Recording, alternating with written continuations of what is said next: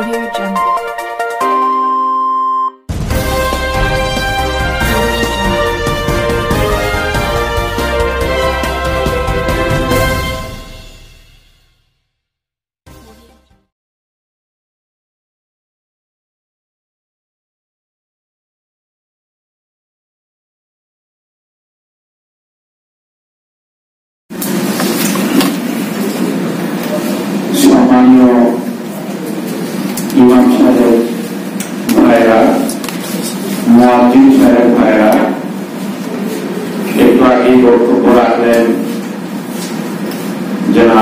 Doctor Alamgir Sarkar সাহেব, উপস্থিত সাংবাদিক বন্ধুরা এবং পুলিশ প্রশাসনের প্রতিনিধি হিসাবে যারা উপস্থিত আছেন, তাদেরকেও যথাযথ সম্মান জানিয়ে আমি কয়েকটি কথা আপনাদের সামনে বলতে চাই।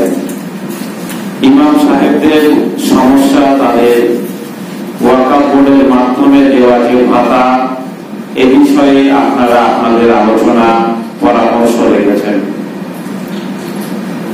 বেশ কয়েকদিন আগে আমি আমার জেলাতে একটি সংগঠনের প্রতিবাদ সভায় ছিলাম। সেই প্রতিবাদ সভা থেকে নেমে বাড়িতে যাব, এমন সময় কিছু মানুষ ডেকে জোর করে চা খাওয়ানোর জন্য একটি দোকানে নিয়ে গেলেন। দোকানে চা খেতে খেতে এক শ্রদ্ধা ভাজন সন্ন্যাসী এলেন, গেরুয়া বসনধারী তিনি বললেন যে, কেন্দ্রীয় সরকারের জন্য বাবা, আপাতত একটু স্বস্তিতে আছি, সুস্থ আছি। আমি চোখে চশমাটা লাগিয়ে দেখলাম তার গলায় যে ব্যাসটা লাগানো আছে সেখানে লেখা আছে গভর্নমেন্ট অফ ওয়েস্ট বেঙ্গল তো আমি সাধুজিকে জিজ্ঞাসা করলাম যে আপনার আপনাই যে সুস্থ ভাবে বেঁচে আছেন, সেটা সেন্ট্রাল গভর্নমেন্টের জন্য বলছেন, কিন্তু গলায় তো লেখা আছে গভর্নমেন্ট অফ ওয়েস্ট বেঙ্গল বলব হ্যাঁ ওই বাবা হবে, এইরকমই আছে তো তিনি বললেন যে, আমরা আগে এক হাজার টাকা বাউল গান করার জন্য ভাতা পেতাম। এখন সরকার সেটা বাড়িয়ে দু হাজার টাকা করেছেন। যারা বাউল গান করেন, এদের কিন্তু কোন সুনির্দিষ্ট ডিউটি বা দায়িত্ব নেই। এবং তারা কোন প্রতিষ্ঠানের সঙ্গে যুক্তও নন। কিন্তু তাদেরও যে সরকার নীরবে ভাতা সাম্মানিক দিচ্ছেন, আমাদের সেটা নিয়ে কোনো বিরোধিতা নেই। বরং সরকারের এই বিষয়কেও আমরা নিশ্চয়ই অভিনন্দন, ধন্যবাদ জানাব। কিন্তু যে সমস্ত ইমাম সাহেব ভাই, যারা সূর্য ওঠার দেড় ঘণ্টা আগে থেকে সূর্য ডোবার চার ঘণ্টা পর পর্যন্ত তারা মসজিদের সঙ্গে নামাজের দায়িত্ব, অন্যান্য দায়িত্ব যারা পালন করেন এর পাশাপাশি সমাজকে সুষ্ঠুভাবে পরিচালনা করার জন্য যখন বিডিও ডাকছেন, যখন থানার ওসি ডাকছেন, সময় মতো সেখানে হাজিরি দিয়ে প্রশাসনের কাজে বিভিন্ন সেবামূলক কাজে যখন অংশ নিচ্ছেন, তারপরেও কিন্তু ইমাম সাহেবদের দু হাজার বারো সালে যে এপ্রিল মাস থেকে যে ভাতা সাম্মানিক চালু করা হয়েছিল, তখন বাজারে যে সমস্ত দ্রব্যের যা মূল্য ছিল, আজকে বেড়ে তা কয়েক গুণ হওয়া সত্ত্বেও আজ পর্যন্ত সরকারের মনে হলো না যে ইমাম সাহেবদের, মুয়াজ্জিন সাহেবদের ভাতার পরিমাণটা বাড়ানো দরকার। হয়তো অনেকেই প্রশ্ন করবে যে ভাতা বাড়ানোর বিষয়টা সরকারের কাছে কেন আপনারা দাবি রাখছেন?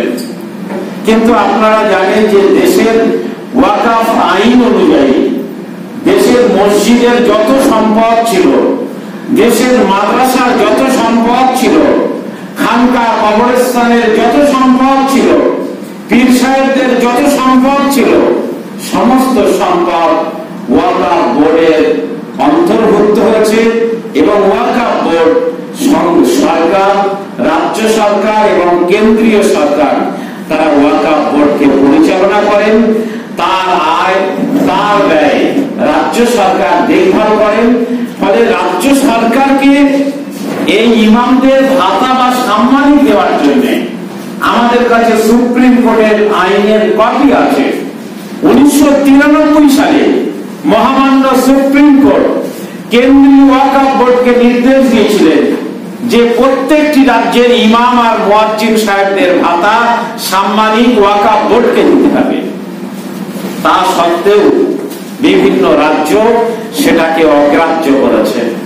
মমতা বন্দ্যোপাধ্যায় এই ভাতা চালু করার আগে পশ্চিমবাংলার মাত্র কয়েকশো মসজিদের ইমামকে ভাতা দেওয়া হতো। আজকে সেটা বেড়ে প্রায় চল্লিশ হাজারের বেশি মসজিদের ইমাম মুয়াজ্জিনকে ভাতা দেওয়া হয় এবং সেই ভাতা প্রাপ্ত ইমাম সংখ্যা প্রায় ষাট হাজার মতো। কিন্তু এই যে ভাতা দেওয়া হচ্ছে, এই ভাতা দেওয়া হচ্ছে সম্পূর্ণভাবে ওয়াকাফ সম্পত্তির আয় থেকে, সেটা কিন্তু রাজ্যের একাধিক মন্ত্রী, এমনকি শুভেন্দু শুভেন্দু অধিকারী আর সাংসদ অভিষেক বন্দ্যোপাধ্যায়, তারাও একাধিক প্রকাশ্য জনসভায় স্বীকার করেছেন যে ইমামদের যে ভাতা দেওয়া হয়, সেটা ওয়াকাফ বোর্ডের মাধ্যমে দেওয়া হয়। আমি গনি সাহেবের সঙ্গে একাধিকবার আলোচনা করেছি যে ইমামদের যে ভাতা দেওয়া হচ্ছে, এই বিষয়টি কেন বাড়ানো হচ্ছে না? ওয়াকাফ বোর্ড যে সমস্ত যে সমস্ত ভাড়াগুলো পাচ্ছে প্রত্যেক বছর বছর ভাড়ার পরিমাণ বাড়ছে, তাহলে ইমাম সাহেবদের ভাতার পরিমাণটা কেন বাড়বে না? ওয়াকাফ বোর্ডের চেয়ারম্যান আব্দুল গনি সাহেব জানালেন যে, আমাদের ওয়াকাফ বোর্ডের আয় বেড়েছে ঠিকই, কিন্তু ইমাম সাহেবদের এই ভাতা বাড়ানোর জন্য, আর যেহেতু এটি সংখ্যালঘু দপ্তরের অধীনে আর সংখ্যালঘু দপ্তরটি হচ্ছে মাননীয় মুখ্যমন্ত্রীর অধীনে। ফলে এই ভাতার পরিমাণটা বাড়ানোর জন্য মুখ্যমন্ত্রীর একটা সম্মতি দরকার। আমরা মুখ্যমন্ত্রীর সম্মতি চেয়ে একাধিকবার তার কাছে চিঠি লিখেছি এবং শুধুমাত্র পয়সা চাইনি আমরা মুখ্যমন্ত্রীর সম্মতি চেয়েছি। তারপরেও মুখ্যমন্ত্রী সম্মতি দেননি বলে এখনও পর্যন্ত আমরা ভাতার ইমাম এবং মুয়াজ্জিনদের ভাতার পরিমাণটা বাড়াতে পারছি না। অনেকেই আক্ষেপ করেছেন, অনেকেই দুঃখ করেছেন। সম্প্রতি একটি সভায় গিয়েছিলাম, সেখানে একজন বক্তা উঠে দাঁড়িয়ে বললেন যে, আপনি কেন পুরোহিতদের ভাতা দেওয়াকে সমর্থন জানাবেন? আমি বললাম, সরকার দিতে পারে? তিনি বললেন, না, একটা সরকার যেমন ইমাম মুয়াজ্জিনদের ভাতা দিতে পারে না, ঠিক একই ভাবে একটা সরকার কোনোভাবে কোন ধর্মের পুরোহিতকে ভাতা দিতে পারে না। ইমাম সাহেবরা ভাতা পান, এটা ওয়াকাম বোর্ডের আয় থেকে ভাতা পান। কিন্তু রাজ্য সরকার, যে বাউল গানের শিল্পী, যারা একটা ধর্মাবলম্বী মানুষ তাদের যে ভাতা দিচ্ছেন, সেটা সরকারের তহবিল থেকে ভাতা দিচ্ছেন। আপনারা জানেন, এই জুলাই মাসের এক তারিখে মন্ত্রী ফিনাল হাকিম অনুষ্ঠানের মধ্য দিয়ে সাতটি শ্মশানের সাত সাতা উনপঞ্চাশ জন পুরোহিতের দশ হাজার টাকা করে ভাতা দিয়েছেন। একই সঙ্গে তিনি ঘোষণা করেছেন যে তিনি পশ্চিমবাংলার সমস্ত মন্দিরের এবং শ্মশানগুলোকে ট্রাস্ট তৈরি করে, সেই ট্রাস্টগুলোর একটি বোর্ড তৈরি করে রাজ্য সরকার তাদেরকে ভাতা দেবেন। রাজ্য সরকার যদি ভাতা দেওয়ার সিদ্ধান্ত নেয়, আমি একজন ধর্মভীরু মানুষ হিসাবে আমি কোনোভাবেই তার বিরোধিতা করব না, আমি তার প্রতিবাদ করব না। কিন্তু আমার বক্তব্য হচ্ছে যে একজন পুরোহিত, সম্মানীয় পুরোহিতের যদি দশ হাজার টাকা সাম্মানিক প্রয়োজন মনে করেন, তার সংসারের দিকে খেয়াল রেখে যদি রাজ্য সরকারের এই বোধোদয় হয়, যদি মুখ্যমন্ত্রীর এই বোধোদয় হয় যদি ববি হাকিমের এই বোধোদয় হয়, তাহলে একজন ইমাম সাহেবের সংসার পরিচালনার জন্য যে দশ হাজার টাকা প্রয়োজন কমপক্ষে, এই বোধোদয়টা কেন রাজ্যের মুখ্যমন্ত্রীর হয় না? এই বোধোদয়টা কেন রাজ্য সরকারের হয় না? এটা আমাদের এই কনভেনশন থেকে প্রশ্ন, এবং এই প্রশ্নটা আমরা হ্যালো দিদিকে বলে টেলিফোনের মাধ্যমে বলতে পারব না। ইমাম সাহেবদের সম্মান আছে আমরা মিডিয়ার মধ্য দিয়ে, আমরা পুলিশ এবং প্রশাসনের যে সমস্ত বন্ধুরা এখানে আছেন, তাদের মধ্য দিয়ে আমরা হ্যালো মুখ্যমন্ত্রীকেই বললাম, নিশ্চয়ই তারা এই বার্তাটা মাননীয় মুখ্যমন্ত্রীর কাছে পৌঁছাবে এবং মাননীয় মুখ্যমন্ত্রীকে এই ভাবনার জন্য আমরা এক মাস সময় দিলাম। আমরা চাই না যে বিভিন্ন সংগঠনের কর্তা ব্যক্তিরা যেভাবে রাস্তায় নামেন ইমাম সাহেবদেরকে নিয়েও সেভাবে বারবার মিছিল হবে সেটা কাম্য নয়। কিন্তু আমরা চাই যে ইমাম সাহেবদের সম্মানের দিকে বিবেচনা করে রাজ্য সরকার তিনি নামবেন তিনি এ বিষয়ে সিদ্ধান্ত নেবেন। যদি সিদ্ধান্ত নেন এটা ভাবার কারণ নেই যে ইমাম মুয়াজ্জিনরা রাস্তায় নামবেন না। নিশ্চয়ই রাজ্য সরকারের বোধোদয়কে জাগ্রত করার জন্য যদি প্রয়োজন হয়, আবার বৃহত্তর আকারে আমরা গোটা মধ্য কলকাতা অর্থাৎ ধর্মতলা চত্বরকে কিন্তু ইমাম মুয়াজ্জিনরা অবরুদ্ধ করে দিতে বাধ্য হবে। আমরা সেটাও কিন্তু আজকে রাজ্য সরকারের কাছে পরিষ্কার করে বললাম। আপনি রাজ্যের মুখ্যমন্ত্রী, বিভিন্ন প্রতিষ্ঠানে যাচ্ছেন, বিভিন্ন কর্তা ব্যক্তিদের সঙ্গে বক্তব্য রাখছেন। আমরা একাধিকবার চিঠি লিখে বলেছি যে দশজন ইমাম সাহেব গিয়ে আপনার সঙ্গে দেখা করবেন। কিন্তু মুখ্যমন্ত্রী দশটা মিনিট রাজ্যের ইমাম সাহেবদের দেওয়ার জন্য তিনি সময় নিলেন না। অথচ ভোটের সময় খোদ না করা মসজিদের ইমামকেও ভোট প্রচারের ময়দানে নামিয়ে দিয়ে তাকে বারোটা বাজিয়ে দেওয়ার চেষ্টা করলেন।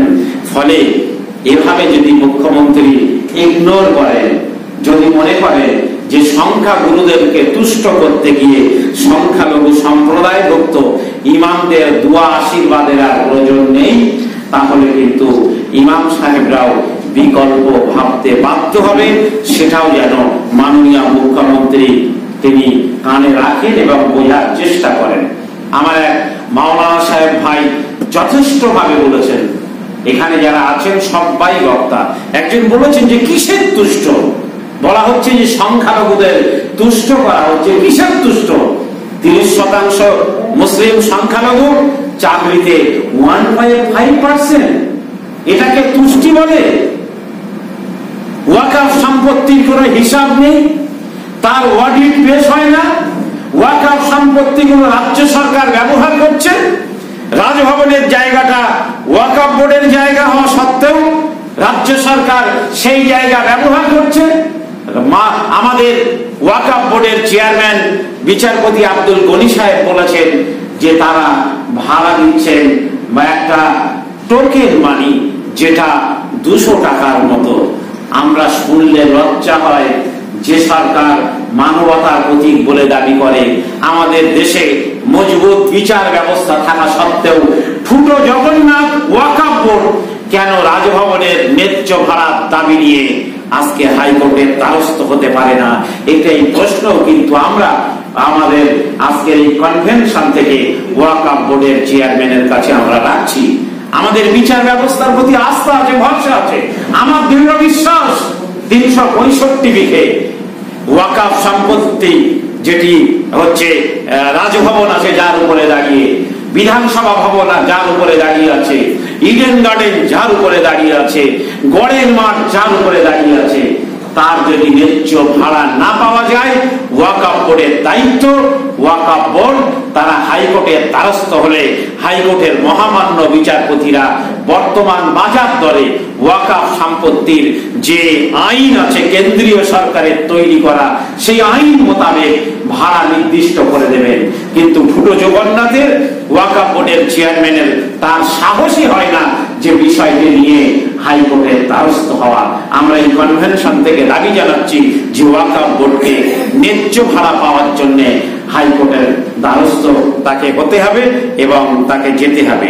কিছু দুষ্টু, আজকে বিভিন্ন জায়গায় দশ শতাংশ মাত্র, তিরিশ শতাংশ মুসলমান ওবিসি চাকরিতে এবং উচ্চ শিক্ষায় ওবিসি হিসাবে মাত্র দশ শতাংশ সংরক্ষণ আছে। আজকে জেনারেল কোটায় আপনারা খবর নিয়ে দেখুন, মুসলিম ছেলে মেয়েরা চাকরি পায় না। বলা হচ্ছে, তোমাদের তো ওবিসি সংরক্ষণ দেওয়া হয়েছে, ওখানেই তোমাদেরকে নিতে হবে। কিন্তু কোন কলেজ, বিশ্ববিদ্যালয় নিয়োগকারী যে সংস্থাগুলো আছে, তারাও কিন্তু সংরক্ষণের বিধি মেনে তারা ওবিসি সংরক্ষণ দিচ্ছে না। কি বলছেন? তারা, তাদের বক্তব্য হচ্ছে, আমি সম্প্রতি কলকাতা বিশ্ববিদ্যালয়ের উপাচার্যের সঙ্গে দেখা করেছিলাম, যে আপনার অধীনে বিশ্ববিদ্যালয়ে ওবিসি সংরক্ষণ কার্যকরী হচ্ছে না। বিশ্ববিদ্যালয়ের উপাচার্য তিনি আমাকে বললেন যে আমাদের কলকাতা বিশ্ববিদ্যালয়ে দু হাজার সাত সাল থেকে কোন সংরক্ষণ বিধি মেনে এখানে নিয়োগ হয় না। দু হাজার সাত সাল থেকে কলকাতা বিশ্ববিদ্যালয়ে ওবিসি সংরক্ষণ মেনে কোন নিয়ম হয় না। এটি বলছেন বিশ্ববিদ্যালয়ের খোদ ভাইস চ্যান্সেলর। আমি ওবিসি সংরক্ষণ নিয়ে গিয়েছিলাম কল্যাণী বিশ্ববিদ্যালয়ে। আমি বিশ্ববিদ্যালয়ের উপাচার্যকে বললাম, স্যার, আপনার বিশ্ববিদ্যালয়ে আমি আরটিআই করেছিলাম, তথ্যের অধিকার আইন মোতাবেক। সেখানে বিশ্ববিদ্যালয়ের রেজিস্ট্রার আমাকে বলেছেন যে দু হাজার চোদ্দ, পনেরো, ষোলো, এই তিন বছরে যত কর্মী নিয়োগ করা হয়েছে, তার মধ্যে ওবিসি এ তে একজনকে নিয়োগ করা হয়েছে ওবিসি বি তে তিনজনকে নিয়োগ করা হয়েছে। এটা সংরক্ষণের যে হান্ড্রেড পয়েন্ট রোস্টার আছে সেটা কোন নিয়মে? কল্যাণী বিশ্ববিদ্যালয়ের উপাচার্য যেটা বললেন সেটা অনেকটা সাপ ঘুরতে কেঁচো ঘুরতে কেউটে বেরিয়ে যাওয়ার মতন। উনি বলছেন যে কল্যাণী বিশ্ববিদ্যালয়ে উনিশশো সাল থেকে কোন সংরক্ষণ মেনে এখানে নিয়োগ হয় না। এইটি হচ্ছে পশ্চিমবাংলার অবস্থা। তার ফলে আজকে মুসলমানদের অবস্থা কলকাতা বিশ্ববিদ্যালয়ে বলুন প্রেসিডেন্সি বিশ্ববিদ্যালয়ে বলুন, যাদবপুর বিশ্ববিদ্যালয়ে বলুন, কল্যাণী বিশ্ববিদ্যালয়ে বলুন, উত্তরবঙ্গ বিশ্ববিদ্যালয়ে বলুন, যে বিশ্ববিদ্যালয়ে যাবেন না কেন মুসলমানদের প্রতিনিধিত্ব চোখে দূরবীন দিয়ে দেখতে হয় এবং কোথাও একজন, কোথাও দুজন, কোথাও তিনজন, কোথাও শূন্য একজন মুসলিম ছেলে মেয়েরা সেখানে চাকরি পায় না। কিসের তো শোন আমরা যাদের দাবি না করতে পারি, সেই জন্য এক শ্রেণির সুবিধাবাদী ব্যক্তি, তারা মুসলিম তোষণ মুসলিম তোষণ করে আওয়াজ তুলছে। কেন? না মুসলমানরা যেন চাকরির দাবিটা করতে না পারে। এই মুসলিম তোষণ হচ্ছে এক ধরনের সাম্প্রদায়িক বিষ বাষ্প। যে বিষ বাষ্প দিয়ে আজকের গোটা বাংলায় মেরুকরণ তৈরি করা হয়েছে, মুসলমানদেরকে সম্পূর্ণভাবে সমাজের মূল স্রোত হিন্দু ভাইদের থেকে আলাদা করে দেওয়া হচ্ছে। কোথাও দাবি করতে গেলে হিন্দু মা বোনেরা বলেন, ভাইয়েরা বলেন, তোমরা তো বাবা অনেক পেয়েছ, এখনও কত পেতে চাও? তারা তো শুনেছে যে মুসলিম তোষণ করা হচ্ছে। কিন্তু মুসলমান প্রতিনিধি কলকাতা বিশ্ববিদ্যালয়ে নেই। এটা তো আনন্দবাজারে প্রকাশিত হয় না। এটা খবরের কাগজে আসে না। কল্যাণী বিশ্ববিদ্যালয়ে মুসলমান প্রতিনিধি তিনজন, তিনশো জনের মধ্যে এটা মেন স্ট্রিমের সংবাদপত্রে প্রকাশিত হয় না। উল্টে আমরা যাতে দাবি না করতে পারি তার জন্য দোষণের কথা বলে আজকের মুসলিমদের সম্পর্কে এভাবে বিদ্বেষ ছড়ানো হচ্ছে। এটি হচ্ছে এক ধরনের সাম্প্রদায়িক কৌশল। এই সাম্প্রদায়িক কৌশলের বিরুদ্ধে আমরা তীব্র ভাষায় প্রতিবাদ জানাচ্ছি, তীব্র নিন্দা জানাচ্ছি। অত অতএব এই মেরুকরণ সাম্প্রদায়িকতা, এটা অবিলম্বে বন্ধ হওয়া দরকার। আমরা মনে করি আমাদের দেশ, আমরা গর্ববোধ করি দেশের নাগরিক হিসাবে। আমরা গর্ববোধ করি যে আমরা বাংলাদেশের নাগরিক নই, আমরা পাকিস্তানের নাগরিক নই, আমরা ভারতবর্ষের মতো এক মহান দেশের নাগরিক, এক শক্তিশালী গণতান্ত্রিক দেশের নাগরিক, যেখানে সুষ্ঠু বিচার ব্যবস্থা আছে। আমরা সেই দেশের নাগরিক হিসাবে আমরা গর্ববোধ করি। আমরা তাই আজকের সরকারের কাছে, প্রশাসনের কাছে এবং আমাদের সমাজে যারা সংখ্যাগুরু সম্প্রদায়ের মানুষ তাদের ভিতরে যারা সুদীজন আছেন, তাদেরকেও দৃষ্টি আকর্ষণ করে বলব যে এই ধরনের যে মিথ্যা অপপ্রচার মুসলমানদের সম্পর্কে তা অবিলম্বে আমাদের সম্প্রীতির স্বার্থে বন্ধ হওয়া দরকার। তা যদি বন্ধ না হয়, একটা মেরুকরণ তৈরি হলে এই দেশটা আরও ভয়ঙ্কর সমস্যার দিকে পৌঁছাবে। আজকে দেখছিলাম যে নীতি আয়োগ যে সংস্থা আছে, কেন্দ্রীয় সরকার তার ভাইস চেয়ারম্যান রাজীব কুমার বলেছেন যে আমাদের দেশে যে আর্থিক মন্দা, যে আর্থিক সংকট তৈরি হয়েছে, স্বাধীনতার পরে সত্তর বছরে এত আর্থিক সংকটে ভারতবর্ষ কখনো পড়েনি। এটা শুনে একজন ভারতীয় নাগরিক হিসাবে আমাদের কষ্ট হয়।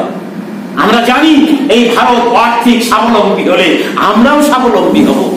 এই ভারত অর্থনৈতিকভাবে সমৃদ্ধ হলে আমরা তার সুফল পাব আমরা ভারতবর্ষের মুসলমানরা বাংলাদেশের সমৃদ্ধি চাইনি আমরা পাকিস্তানের সমৃদ্ধি চাইনি আমরা সৌদি আরবের সমৃদ্ধি চাইনি আমরা ইরাক, ইরানের সমৃদ্ধি চাইনি আমরা ভারতবর্ষের আর্থিক সমৃদ্ধি চাইছি কেননা আমরা এই দেশেরই নাগরিক। এই দেশ শক্তিশালী হলে আমরা শক্তিশালী হব। এই দেশের সেনাবাহিনী শক্তিশালী হলে আমরা শক্তিশালী হব। এই দেশের অর্থনীতি শক্তিশালী হলে আমরা শক্তিশালী হব। এই দেশের একশো শতাংশ নাগরিক স্বাক্ষর হলে শিক্ষিত হলে ভারতবর্ষের নাগরিক হিসাবে বিশ্বের দরবারে আমরা আনন্দিত হব, আমরা সম্মানিত হব। এটা আমাদের গর্ব। আমরা চাই আমাদের গর্ব, আমাদের অর্থনীতিবিদ বি আর আম্বেদকর, আমাদের অর্থনীতিবিদ অমর্ত্য সেন। ফলে আমরা তাদেরকেও সম্মান জানাব, তাদেরকে যারা অসম্মান করে, আমরা তাদেরকেও নিন্দা করব। ভাই আমার, আমি আমার শেষ কথা, ভাতাটা ইমাম সাহেবদের নামেই হতে হবে। ভাতাটা মসজিদে এক ইমাম সাহেব ভাই বলেছেন, মসজিদ পরিবর্তন হলে প্রয়োজনে ওয়াকাপ বোর্ডের নোটিশ নিয়ে অন্য মসজিদে যাবেন ইমাম সাহেব, ডিউটি পালন করতে। কিন্তু যেমন বাউল শিল্পীদের নামেই ভাতা ঠিক তেমন ভাবে যেমন পুরোহিতদের নামেই ভাতা, ঠিক তেমন ভাবে ভাতাটা কিন্তু ইমাম সাহেবের নামেই হতে হবে। তা যদি না হয়, বিভিন্ন মসজিদ পরিচালন কমিটি, বিভিন্ন রাজনৈতিক দলের হাতে চলে যাওয়ার কারণে ইমাম সাহেবরা সেক্ষেত্রে বঞ্চিত, লাঞ্ছিত হচ্ছেন। আমাদের যারা সম্মানীয় বাউল শিল্পী, তারা আইডেন্টিটি কার্ড গলায় নিয়ে হচ্ছেন গভর্নমেন্ট অফ ওয়েস্ট বেঙ্গল কিন্তু ইমাম সাহেবদের একটা আইডেন্টিটি কার্ড বার করার জন্য আমি নিজে ওয়াকা বোর্ডের চেয়ারম্যানকে বলেছিলাম, আপনারা নিশ্চয়ই কেউ কেউ সাক্ষী থাকবেন। যদি কয়েক লক্ষ টাকা খরচ হয়, আমি নিজে কামরুজ্জামান, আমার স্কুলের ফান্ড থেকে আমি ওয়াকাপ বোর্ডকে দিয়ে সেই খরচের দায় আমি নেব। ইমাম সাহেবদের আইডেন্টিটি কার্ডের ব্যবস্থা করা হোক। কিন্তু একাধিকবার ওয়াকাপ বোর্ডের চেয়ারম্যান তিনি কথা দেওয়ার পরেও এই ন্যূনতম দায়িত্বটাও তিনি পালন করতে পারেননি। আজকের ওয়াকাপ ইমাম সাহেবরা যখন বিডিও অফিসের দ্বারে গিয়ে দাঁড়িয়ে থাকেন, তখন জিজ্ঞেস করেন, কে আপনি? কোথা থেকে এসেছেন? কিন্তু তার গলায় যদি একটি আইডেন্টিটি কার্ড থাকতো, board of work of government of West Bengal তাহলে ইমাম সাহেবকে বিডিও দপ্তরে গিয়ে থানার সামনে দাঁড়িয়ে আর কোনোভাবেই আলাদা করে পরিচয় দিতে হতো না। এই পরিচয় পত্রটা কতটা প্রয়োজন তা নিশ্চয়ই সমাজ, সরকার